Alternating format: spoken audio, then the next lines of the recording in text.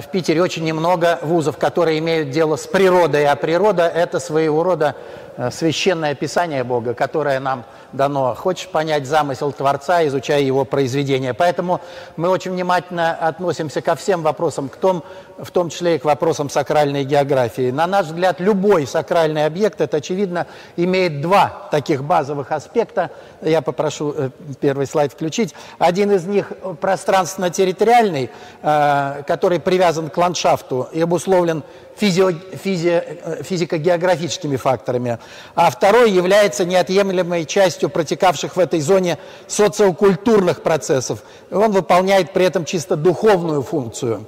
Сакральность зачастую воспринимают как священность, однако понятие сакральность отражает функциональные возможности объекта, в то время как священность – это его качество – таинственность сакрального состоит в том, что оно не поддается рациональному объяснению.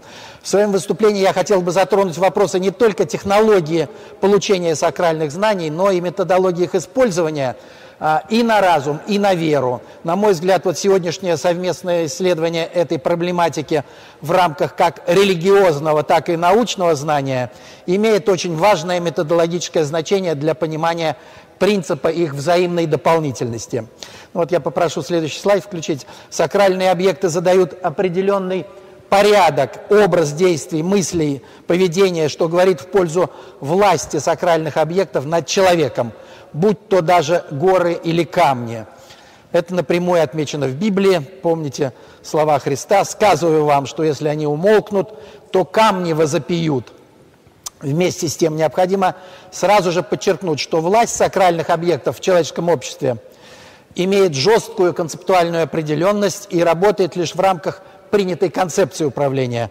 В рамках библейской концепции управления сакральные одни объекты, в рамках коранической совершенно другие. Развитие жизни на планете сопровождалось формированием принадлежащей телу планеты специфической полевой структуры, ну, ноосфера, да, по Вернадскому. Она обладает структурой, которая неоднородна и неповторима в разных местах суши либо водной глади, ровно настолько, насколько неповторимы происходившие в этих местах геофизические, культурологические явления и процессы. В полевом отношении модель функционирования планеты имеет прямую аналогию с функционированием биополей, сопровождающих физиологическое, духовно-нравственное функционирование человеческого организма. Полевую систему, отражающую специфический разум Земли, можно воспринимать в качестве носителя ее психики, психика планеты. Причем праведность этой психики отражена в древней классификации планеты как Земли-матушки. Слайд 3, пожалуйста. А, Относимся мы, к сожалению, к земле матушки не по-человечески, не замечая зачастую ее слез, а она, тем не менее, воспитывает нас, воспитывает по-матерински, и наказывая, и одаривая. И не отсюда ли, вот, по-моему, только в нашем языке два этимологически разных вида благодарности, характерных для нашего языка. Мы можем говорить «спасибо», да, спаси Бог, по сути, да, да, в ответ на, клуб, э, на кнут. И можем говорить благодарю, благодарю. Вроде бы синонимы, но они совершенно разные по, по смыслу. Э, в наши дни для обозначения полевой системы нашей планеты используется термин «ноосфера». По нашим представлениям, Вернадский считает, что она формируется вот именно в процессе глобализации. По нашим же представлениям, ноосфера была и ранее. Более того, она хранит в себе таинство и опыт предыдущих допотопных цивилизаций. На планете есть особые места, в которых полевые структуры Земли и полевые структуры человека взаимодействуют так, что праведному человеку живется в них легче – если же он злобен, то те же полевые структуры его угнетают. В этом вот и состоит, на наш взгляд, суть технологии воздействия сакральных мест на общественную систему.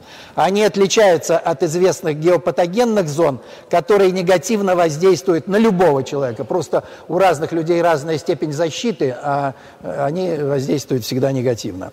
Находясь в сакральных же местах, благодаря специфике взаимодействия в них энергетики, биополя человека и полей Земли, управление управленчески проще, энергетически менее затратно оказывать духовное воздействие на характер процессов, протекающих в обществе и в природе. Если эта технология работает в зоне конкретного объекта, то такие места называют местами силы. Следующий слайд, пожалуйста. э, к ним, э, к местам силы нужно относиться очень бережно. В противном случае они теряют свои первоначальные качества. К примеру, характеристика Палестины как святой земли, если и была правомерна в древности, то давно уже утрачена вследствие многовековой неадекватности поведения проживающих в этой местности и постоянно приступающих Божьи заповеди. Места силы русской цивилизации имеют особую миссию, уходящую своими корнями в глубокую древность. Часто наши храмы расположены э, в местах древних капищ, которые размещались именно в местах силы э, и иных сакральных местах. Сегодня взоры многих многих аналитиков мирового уровня с надеждой обращены именно к модели новой концепции развития человечества, концепции общественной безопасности, которая способна предложить миру наша многонациональная русская цивилизация. Не буду приводить вот цитаты из очень многих аналитиков сегодняшнего дня, в частности Эдгар Кейси, Франция, там другие, э, э, они с надеждой смотрят на Россию. Но вот посмотрим даже американец Эдгар Кейси на следующем слайде. Еще в 1944 году он отметил в своих пророческих высказываниях, э, в пророчестве которого не сомневался никто, написал следующее. «Из России в мир придет надежда не от коммунистов, не от большевиков, а из свободной России. Пройдут годы, прежде чем это случится, но именно религиозное развитие России даст миру надежду. Из России надо ожидать спасения мира». И, на мой взгляд, вот эти дни сегодня наступают. Если же говорить о методологии использования сакральных знаний, о гносеологии, то мы исходим из того, что целостное познание процесса в мироздании предполагает получение информации о нем по двум каналам. По каналу разума и по каналу веры. При этом сакральные места работают как прямые усилители возможностей получения откровений и предостережений о грядущем. Информации о глобальной истории человечества из ноосферы Земли, которая помнит все – Информация о прошлом в сакральных местах считывается из ноосферы планеты непосредственно в дух человека, хотя духовно неразвитые и суеверные люди отрицают эту, мисти, эту мистику как непознанную ими лично часть окружающей нас действительности. Далее рассмотрим вот методологию использования имеющихся фактов, получаемых в том числе с использованием сакральных возможностей. Любое историческое знание в обществе всегда несет на себе отпечаток той концепции, в рамках которой оно исследуется. И вот как-то в журнале «Наука и жизнь», такой знаковый очень журнал, еще 1988 года, была опубликована статья «Как подойти к научному пониманию истории советского общества». Профессор, доктор философских наук Бутенко. Вот на следующем слайде краткая сноска. Э, в названной статье он пишет, руководствуемся одной методологией, факты изучаем и знаем одни и те же, а к выводам приходим разным. Почему? И несколько далее он дает ответ на этот вопрос. На его взгляд, это объясняется тем, что при изучении истории наряду с методологией и фактами еще существует концепция, связывающая воедино основные этапы рассматриваемого исторического времени. Вот она-то, эта концепция у спорящих авторов разная, а, по одному, а, а, поэтому одни и те же факты выглядят каждый раз в разном освещении со своим смысловым оттенком. Но, э, по нашему мнению, э, вот Бутенко как раз глубоко заблуждается, когда настаивает на принципиальной невозможности познать мир, поскольку вот концепции разные, дескать, концепции у всех разные. Откуда и как возникли эти взаимоисключающие друг друга концепции? И какая концепция из множества возможных истинна? Вот в чем главный вопрос человечества на сегодня. Методология познания призвана выявлять и распознавать не факты, а процессы в их взаимной вложенности. Если мы изучаем просто факты и игнорируем процессы, их объемлющие, то мы получим вот то, что происходит сегодня, эти бесплодно протекающие телевизионные, парламентские дебаты, когда задача каждого из участников подтасовать факты под заранее сформированную позицию, под заранее обозначенную концепцию. И любая сакральная информация цена лишь настолько, насколько грамотно мы соотносим ее с общественно-политическими процессами в их взаимной вложенности и понимаем их. Обилие частных фактов без понимания объемлющих их процессов выражается у методологически безграмотных людей во множестве недостоверных, несовместимых между собой мнений об одном и том же объективном процессе. И вот в годы перестройки это приветствовалось, было возведено в ранг идеала жизни общества и названо плюрализмом мнений. В действительности плюрализм мнений разрушителен по отношению к обществу, поскольку подавляющее большинство мнений вздорные и не являются выражением разных граней общей для всех единой многогранной истины, и более того, эту истину никто и не ищет, упиваясь своим собственным взглядом на происходящее. Э, и в этом смысле, э, на мой взгляд, должны быть востребованы традиции церкви. Вот на следующем слайде я хотел на это сослаться. И только в том случае, если в обществе складывается достаточно широкий слой концептуально грамотных людей, владеющих процессным развлечением, и если они по совести осуществляют миссию просвещения, то у общества есть шансы перейти к эффективному применению сакральной информации. В русской традиции эта методология именуется соборностью. Соборностью, в которой свободная воля каждого не отстаивает свое «я», а бесконфликтно дополняет в русле Божьего промысла свободную волю всех прочих. Вот в чем как бы методология поиска путей в будущее. Атеистическая же наука, ошибочно отрицая роль религии и веры, задает традиционный вопрос, а каким образом вера в существование Бога может помочь в познании истины? Но дело в том, что если обратиться к такому жанру литературы, который в православной традиции именуется «жития святых», то выяснится, что для святых вопрос о бытии Бога, э, он не был вопросом знаний, он был вопросом знаний, то есть они понимали это каждый день. Это не было даже вопросом веры. Факт бытия Бога для каждого из них был каждодневно подтверждаем молитвами и течением жизни в соответствии с их смыслом. И вот только диалектическое единство в использовании двух каналов, канала разума и канала веры, позволяет сформировать жизненно состоятельное миропонимание. Потому что на, по каналу разума вы все равно никогда за время жизни не поймете все, что происходит в мире. И только вот... Э, э, сочетание этих двух каналов позволяет формировать жизненно состоятельное миропонимание, обеспечить дальнейшее познание истины в границах всей объективной реальности. То есть, по, по крайней мере, появляется модель хотя бы теоретически самодостаточная. Однако принятие чего-либо на веру обладает своей спецификой. Согласие принять какую-то информацию на веру, а равно отказ от этого, обусловлены в психике человека его истинной, а не показной нравственностью. Это означает, что объективно порочная нравственность позволяет принять на веру в качестве истинной ошибочную, заведомо ложную информацию, а праведная нравственность исключает исключает принятие лжи и ошибок на веру в качестве истины. Ну и вот об этом цитату из, Путина, из Пушкина я хотел привести, а, потому что, на мой взгляд, Пушкина э, это, когда говорят наше все, то это Действительно так. Э, Пушкин, Анатоль Франц как раз утверждают, что именно случайности являются своего рода знаками Бога. Удивительный язык случайности я могу подтвердить из своего собственного опыта. Как-то я изложил своему знакомому, историку, версию, э, ну это мои личные э, э, взгляды, о возможном пребывании Иисуса Христа в возрасте от 13 до 30 лет у волхвов Древней Руси в Старой Ладоге и Навалааме. Но ну, мы знаем все версии и детально их изучали. По одной версии там Христос был в Индии, по другой в Египте, но ни одна из версий абсолютно недостоятельна, и мы можем это твердо доказать. Вот пребыв пребывание там Андрея Первозванного, оно вот и сегодня прозвучало, и оно отражено, скажем, в материалах Саратовской епархии. Возможно, что все-таки Андрей Первозванный прошел всего лишь по стопам своего учителя. Он, э, услышав мои аргументы, я ему подробно привел аргументы, почему я так считаю, он весь вечер провел в размышлении. А вот он историк, и откуда вот такая информация? Хотя он понимает, что если я сказал, то, значит, не все так просто.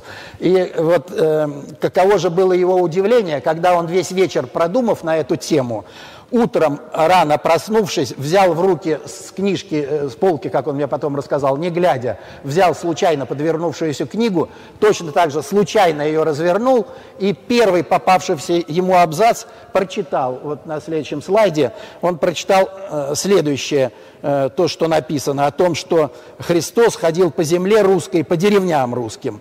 Я у него спрашиваю, где ты такое прочитал? Оказывается, рассказ Максима Горького «Калинин».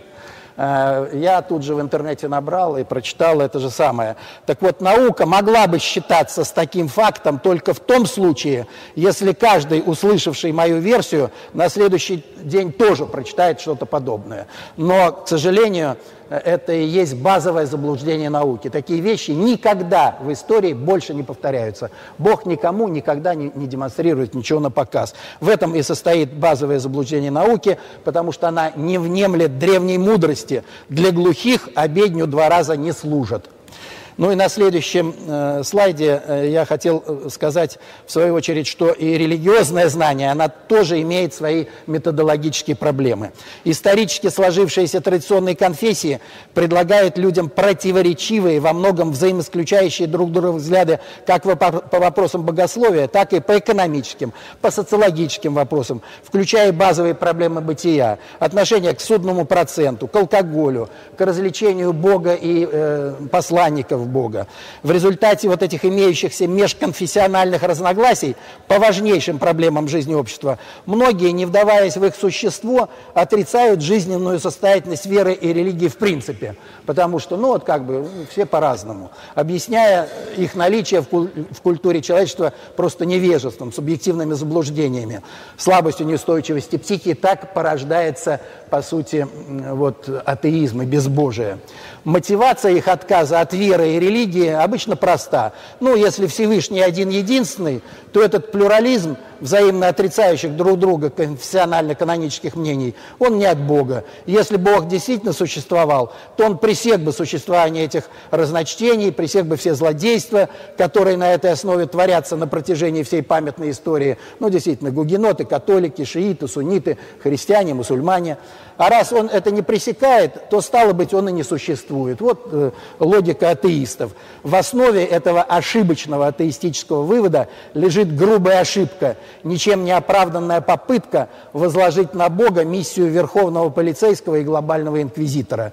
Этот несоответствующий объективной реальности плюрализм мнений люди некогда породили сами – и сами же должны жить его методами познания и просвещения. На следующем слайде я хотел вот то, что сегодня уже звучало. Бог действительно... Э, э, следующий слайд, пожалуйста. Я как раз хотел привести цитату из Менделеева э, о том, что природа – это в некотором смысле Евангелие Бога. Э, это он очень точно подметил, потому что для того, чтобы понять Бога, Бог нас наделил прежде всего э, разумом и развлечением, и верой, и сотворил для нас природу, э, через которую мы можем понять замысел Творца. Вот находясь в таком святом месте, Э, завершая, я хотел бы э, сказать, что э, работая вот эти последние 11 лет с природой в Аграрном университете, я считаю необходимым подчеркнуть особую значимость русской православной церкви, ее особую миссию в религиозной сфере. Именно она не только в делах, но и в названии несет корневую основу, связанную с правдой, праведностью, справедливостью, в конечном счете с совестью. Возможно, именно она могла бы выступить инициатором формирования вот такой площадки, если угодно, для сближения на почве совести и праведности представителей всех конфессий нашего общества, о необходимости чего в середине XIX века писал еще святитель Игнатий Бринчанинов. Такой площадкой идеологического единения могла бы стать идея дальнейшего развития богословской науки, рассмотрения перехода религиозных воззрений от веры в Бога, которую церковь успешно пронесла сквозь века, к вере Богу по совести, к вере Богу по жизни, относящейся в равной мере к представителям любой из конфессий – Позвольте из мирской жизни привести некоторые значимые в этой мировоззренческой, э, мировоззренческом смысле выдержки. Ну, вот я на слайде их обозначу. Э, на наш взгляд, вера в Бога и вера Богу – это два принципиально разных состояния души. Вот э, один из э, моих друзей написал э, это в стихотворной форме. «Путь промысла его неведом потому, что вера есть в него – но веры нет ему. А, или Анатоль Франц. Случай – это псевдоним Бога, когда он не хочет подписываться своим собственным именем. Пушкин. Ум человеческий не пророк, а угадчик – но не дано ему предвидеть случая мощного мгновенного орудия проведения. Или в Коране там тоже говорится, что, в общем-то, все случайности, они зависят от нас самих. Он говорит, Бог не меняет того, что происходит с людьми, пока они сами не изменят своих помыслов. Верующий Богу человек, вне зависимости от конфессиональной принадлежности, если он верит Богу, должен быть твердо и одинаково убежден, что если он живет по совести, по-божески, то Бог реализует в отношении него схему Божьего водительства, защищает его от недобрых случайностей. Вот, и при таком понимании верующий человек будет требовательно относиться к организации своей жизни по-божески, что означает не вредить себе, не вредить окружающим людям и мирозданию в целом. И в этом случае исчезнет такой порог, как религиозный фанатизм, под, попав под власть которого люди готовы учить своей религии своим ритуалом даже Бога, а не то, что других людей. Принуждать насилием к принятию своего вероучения вопреки совести, что, к сожалению, мы сегодня наблюдаем в мире. В заключение позвольте выразить надежду, что наше предложение по технологиям, по методологии использования сакральной информации, по научным и богословским проблемам, не претендуя, безусловно, на бесспорность, будут, тем не менее, стимулировать дальнейшие исследования этой тематики как в сфере религиозного, так и в сфере научного знания.